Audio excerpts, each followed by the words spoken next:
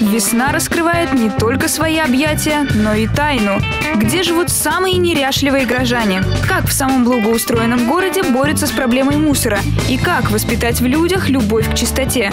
Смотрите в программе «Комфортный город» 6 мая в 20.00 на национальном телевидении Чувашии.